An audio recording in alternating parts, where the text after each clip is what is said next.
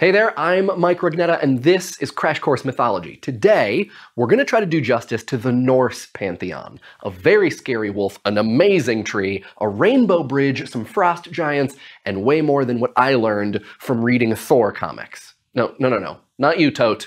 Your TH is a plosive. We're talking voiceless dental fricative here. Thor. You know, this joke might work better in print.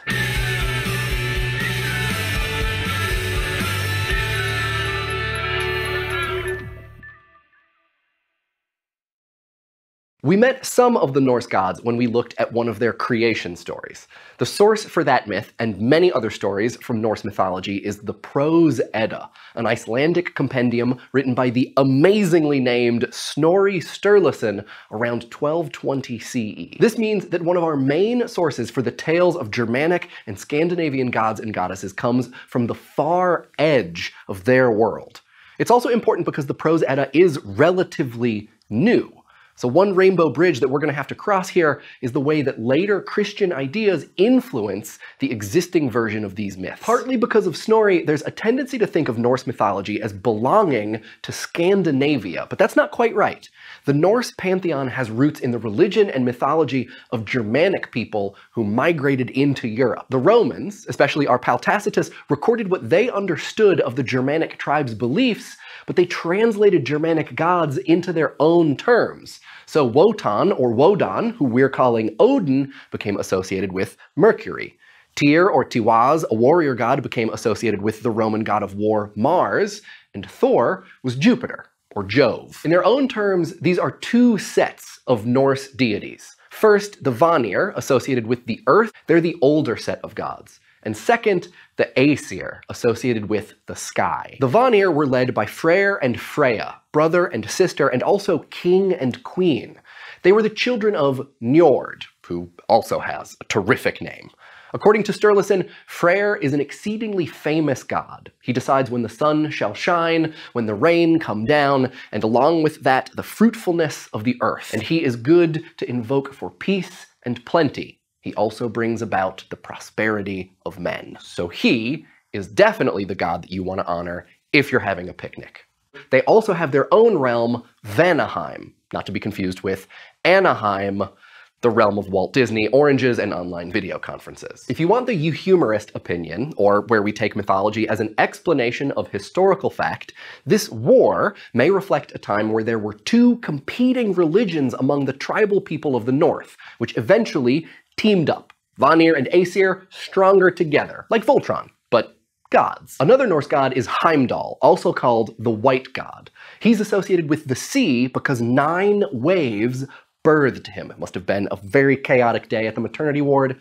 Heimdall was the sentry of the gods and the archenemy of Loki, who you might know from his role as Tom Hiddleston. According to Sturluson, Heimdall needs less sleep than a bird and can see a hundred leagues in front of him as well by night as by day.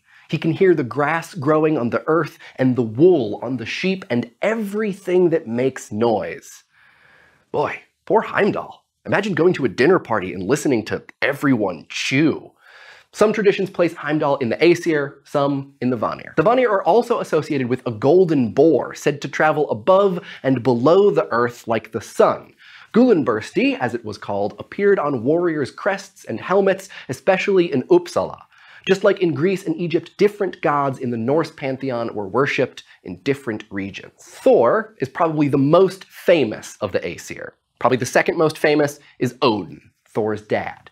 Odin is the father god who was associated with war, especially with the raw, almost ecstatic warrior rage of berserkers.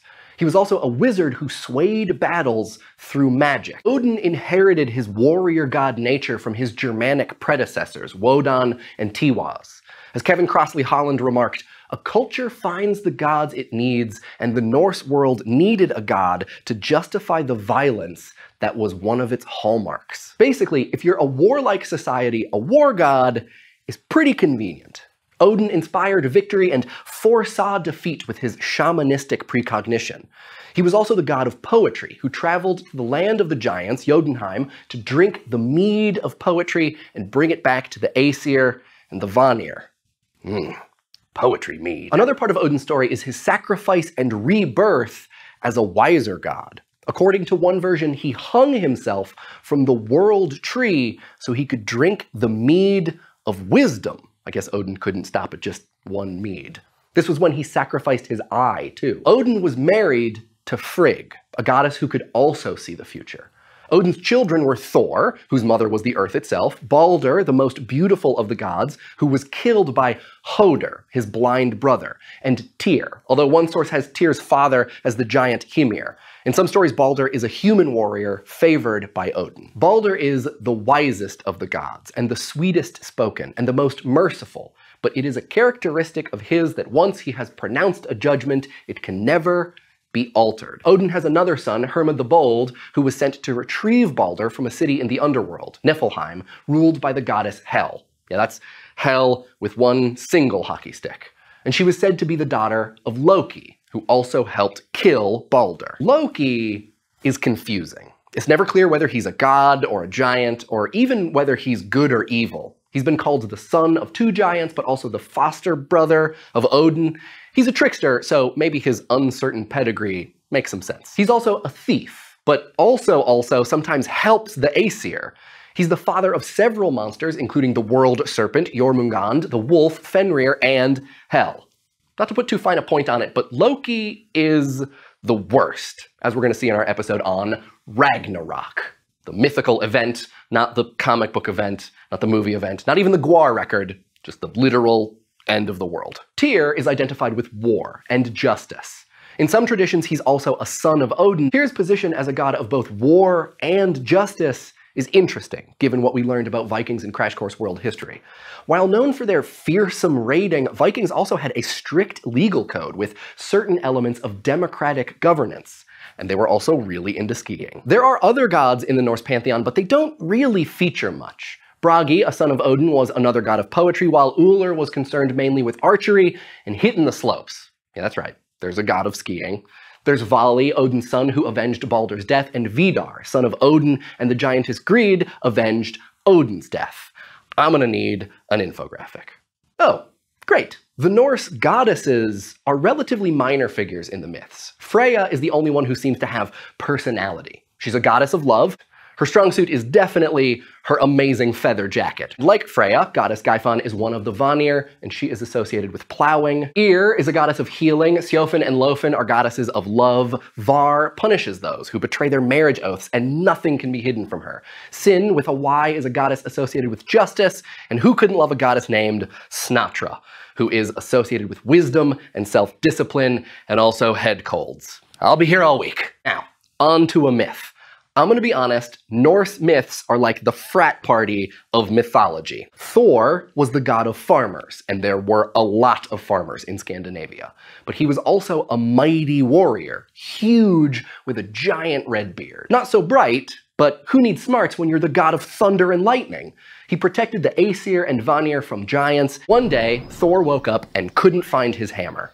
He sent Loki to locate it. Loki borrowed Freya's sweet falcon jacket, turned it into an actual falcon, and went searching. He found his way to the hall of the giant Thrym, who said that he had stolen Thor's hammer and he wouldn't give it back unless Freya agreed to marry him. Freya said, over my dead body. So Heimdall, the sentry god, came up with a brilliant idea. Put Thor in a wedding dress and have him pretend to be Freya. The other gods laughed and Thor sulked, but Loki prevailed on him because without his hammer, the gods were vulnerable to giants. So they found a giant wedding dress and a thick veil and headed off to Jotunheim. Once there, Thrym threw his new bride and her bridesmaid, Loki, a wedding feast. Thor ate an entire ox, eight salmon, all the sweets, and three horns of mead. When Thrym commented that he'd never seen a woman eat so much, Loki explained that Freya, was so excited to be married that she hadn't eaten for eight days. Thrym seemed satisfied, but then he peeked under her veil and saw his bride's glowing red eyes. Loki, again, reassured Thrym that his bride was so excited that she hadn't slept for seven days. Finally, Thrym offered up Mjolnir as a wedding symbol. Thor snatched it up, ripped off his veil, and did what he does best,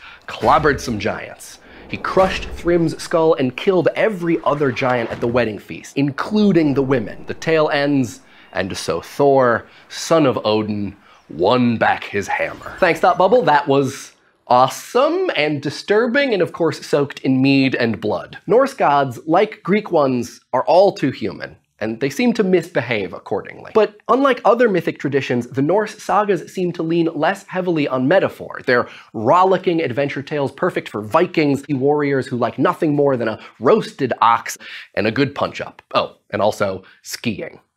Thanks for watching. We'll see you next time.